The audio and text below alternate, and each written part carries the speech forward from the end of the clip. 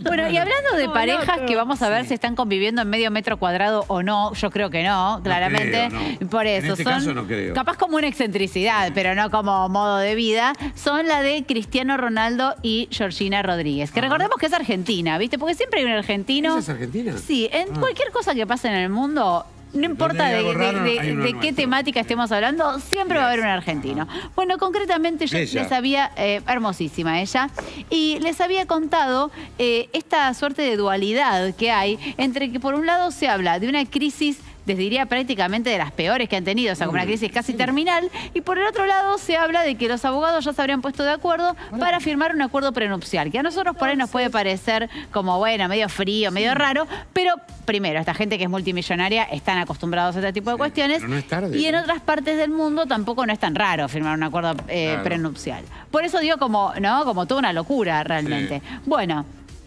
el tema es así. Eh, la realidad es que parece que la convivencia eh, en Arabia no está resultando como muy amena y además hay algunas actitudes de Georgina que le estarían molestando a Cristiano, como que ella se volvió, eh, pensemos que era una chica como podríamos ser cualquiera de nosotros, digo, o sea, clase media, normal, trabajaba en una tienda de Gucci, Ah, lo conoció ahí, digo, es como que era una persona común y corriente y de pronto adquirió un estatus de vida, obviamente estando una que. Claro, estando eh, al lado de, de una figura como la de Cristiano Ronaldo y se volvió eh, bastante ostentosa, ¿sí? Como demostrar el lujo, eh, el nivel de vida. Se lo voy a poner con un ejemplo local, como si fuera Wanda Nara, Ah. que vive, viste, mostrando o ostentando las carteras, que no se viste todo nada. de primeras marcas, joyas, qué sé yo. Y la verdad que a él mucho no estaría simpatizándole esta situación, pero yo creo que más que nada que es porque quizás cuando hay cosas más de fondo, después cualquier cosa, no sé, ella hace un posteo en las redes sociales mostrando el lujo y a él le molesta eso, pero Ah. quizás le molestan otras cosas de la convivencia. Bueno, pero como les digo una cosa, les digo la otra, ¿Qué? y mientras está, o sea, está hablando de esta crisis, de esta convivencia por ahí que no está resultando mucho, también el cambio cultural, chicos, hay que tenerlo en cuenta. Eh, él además es muy exigente y acá eh, Ceci no me va a dejar mentir, eh, en la Liga Saudita el equipo donde está jugando salió segundo, tampoco es que ganó. Entonces, viste, por ahí eh, el futbolista y sobre todo de elite, como es él, que debe haber dicho, bueno, esto lo gano caminando, bueno, nada de caminando, ni corriendo, logró alcanzar el primer puesto. Eh, entonces, todo este tipo de cuestiones, bueno, pueden haber traído fricciones en la pareja y por eso se habla de crisis. Pero en paralelo, vamos a repasar un poco... El departamento que era de las cabañitas, era de las ca- Bueno, eh, la familia de Cristiano Ronaldo está compuesto por sus cinco hijos, por supuesto, además de Georgina Rodríguez, su mujer, que es Cristiano Junior, que es el, eh, su primogénito, digamos, el Sí. primer hijo que él tuvo. Después los mellizos Eva y Mateo, que son fruto de una relación anterior.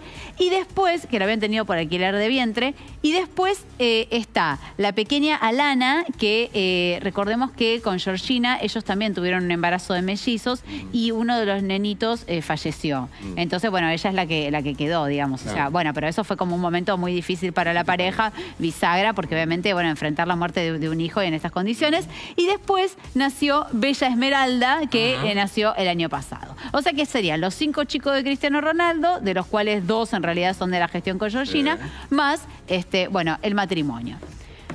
Ahora les voy a contar estos acuerdos y van a entender A por qué Georgina eh, de alguna manera ya no tiene que preocuparse y estas cuestiones mundanas como pagar el ABL, las expensas Claro. o que te venga un aumento de los que vive contando Mer en el show del aumento, No, no te hacen mella. A ver. Bueno, hay una mansión, porque no se puede titular de otra manera, en España llamada La Finca, Sí. Concretamente en Madrid. Bueno, Sí. en este acuerdo pronuncial ella quedaría con la propiedad.